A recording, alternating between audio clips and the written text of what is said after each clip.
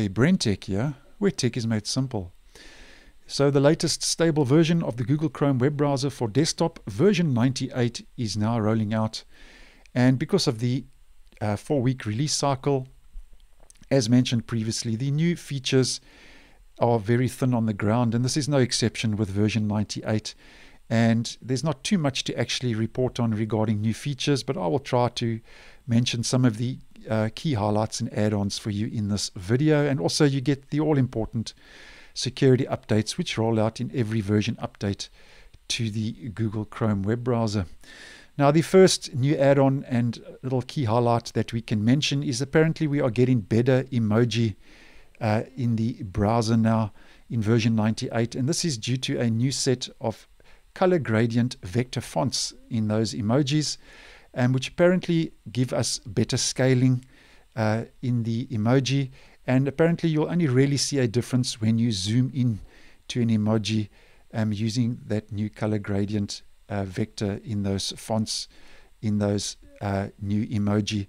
Apparently, um, when they are still uh, at their default size, you're not going to see too much difference. But when you zoom in, apparently, you will notice a difference um, uh, when you zoom in.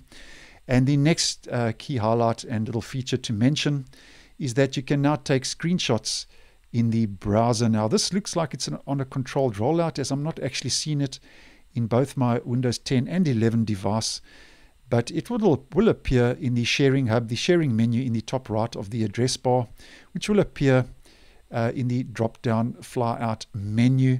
So if you aren't seeing it, I'm sure that you will get it in the near future as it is on, it seems to be at this stage on a controlled rollout. Now, if you are seeing it, uh, just to mention this quickly, if we just pop over to Chrome Canary, this is what I'm talking about. It's a new screenshot tool, and if you click on it, you can just capture any portion of a web page and you can edit it to your choice and you can also download that image. So that's a little handy feature uh, if you are prone to taking a lot of screenshots in your browser.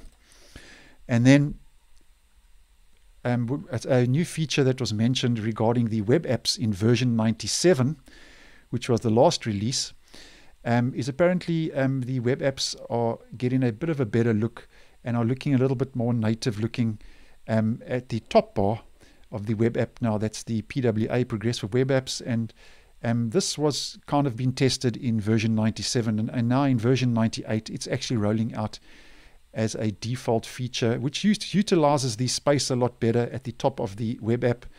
Um, and apparently, this takes up a, a, lot less space and just makes things a lot, little bit more uh, less cluttered and a little bit more tidy at the top of the PWA.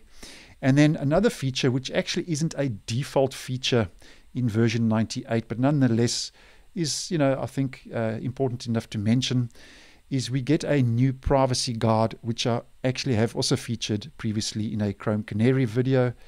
And um, as I say, this is not a default feature. And if you'd like to try it out, um, we have to use an experimental flag. And to do this, we just head up to the Omnibox, the address bar, and enter Chrome colon forward slash forward slash flags. I'll mention that again. That's Chrome colon forward slash forward slash flags. And in the search, just paste in well, I'm just going to type it in quickly. Privacy. Review. That's the flag you're looking for. You can actually find it by just entering privacy and it'll bring up the flag called privacy review. Shows a new subpage in settings that helps the user to review various privacy settings and that's available for Mac, Windows, Linux, Chrome OS, Android, and Fuchsia. And we changed uh, the uh, default option to enabled relaunch the browser to apply that flag.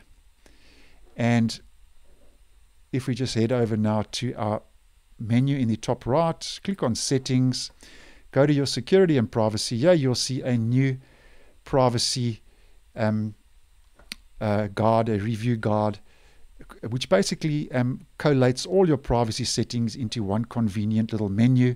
And it says understand and re review the most critical privacy settings in one place.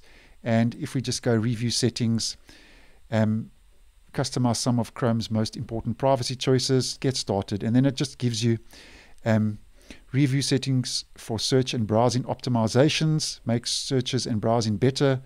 we can toggle that on, and then it just tells you what you get and uh, what you share with Google. And I have mentioned this in a previous Google Chrome Canary ver- uh, version um, of the browser in a previous video.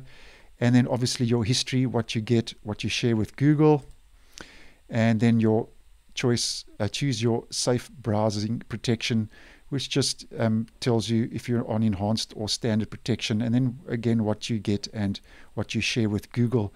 Now, um, as I say, this just basically pops all the most relevant privacy settings into one handy little menu, and then yeah, block third-party cookies in incognito, what you get and what you share with websites, and you also have the option to block all third-party cookies. So this just takes all your privacy settings and pops them into one handy privacy guard.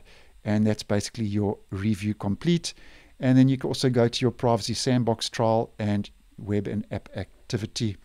And then, as mentioned, uh, we get those all important security updates which roll out with every version update to the browser. And in version 98, um, if we go to those release notes, stable channel update for desktop, yeah, we see that Google says that uh, this update includes 27 security fixes, and out of those 27 security vulnerabilities that have been addressed, one, two, three, four, five, six, seven, eight of those are high risk and a high vulnerability, and those have been addressed. And then we go from medium to low.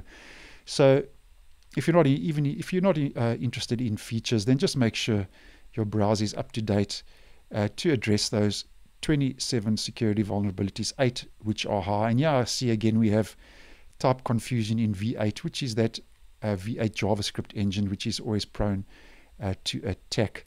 So if you'd like to see if you have the latest version, as always, we just head up to our menu again, go to Help, About Google Chrome, and if you do use the browser regularly, this update process will take place in the background.